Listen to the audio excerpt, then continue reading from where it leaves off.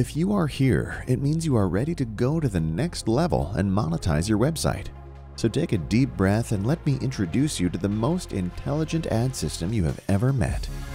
In Newspaper Theme, we have built a system designed to avoid ad blindness and give you the best results concerning both revenue and user experience. In this tutorial, we'll show you how to use one of the most popular advertising platforms, AdSense by Google. We'll also explain how to use custom HTML ads, also known as banner ads. Let's start by placing an ad in a predefined spot like the header. Go to the Newspaper, Theme panel, Ads panel, and open the Header Ad section.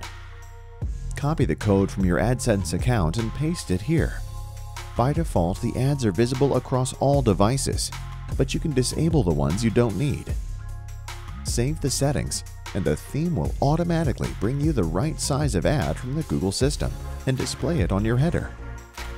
This intelligent system comes with 14 predefined ad spots for sections like header, sidebar, inside articles, and some post templates, and smart lists, above footer, or as a clickable background.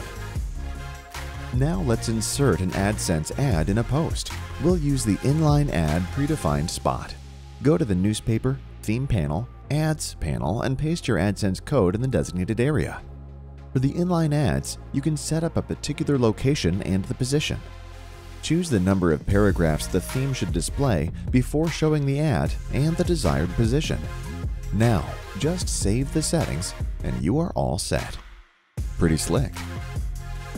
Do you need to display an advertisement in a place that is not predefined in the theme? Great! Newspaper allows you to define up to five custom ads and place them in any location inside your pages. Let's open Newspaper, Theme Panel, Ads, and click the Custom Ads section. Just like we did before, insert your AdSense code in the designed area and save the settings. Now open the page where this ad should be displayed and edit it with TD Composer. Find the desired location on your page and click the Add Element button. From the list, drag and drop the ad box where you want. Click the newly added block and under the General tab, select Use Ad Spot, Custom Ad. Hit the Save button and your first custom ad is right there where you want it. What if you want to promote an event or a product on your website and you only have an HTML banner or just an image? Well, we've got you covered. The newspaper theme ad system will read the non-AdSense code and render the image just as you uploaded it. Just make sure that the banner image has the optimal aspect ratio. If you upload a square image in a rectangular ad spot, you won't get the results you were hoping for you should use pre-edited images at the right size and shape for each device separately.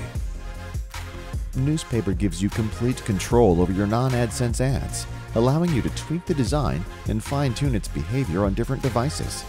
You can choose which ad version will be displayed on which device. Let me show you how easy it is.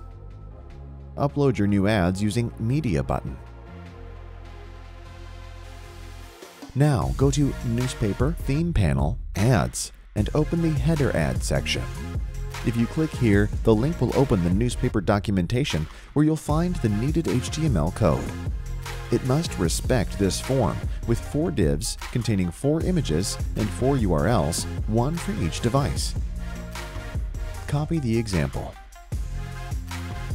Now insert your landing page link here and the links to your edited images here. Save the settings. Yes, monetizing with newspaper is that simple.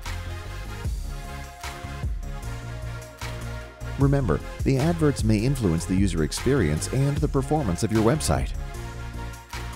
The trick is to keep the fine balance between content and advertising and give your visitors an unforgettable website to come back to.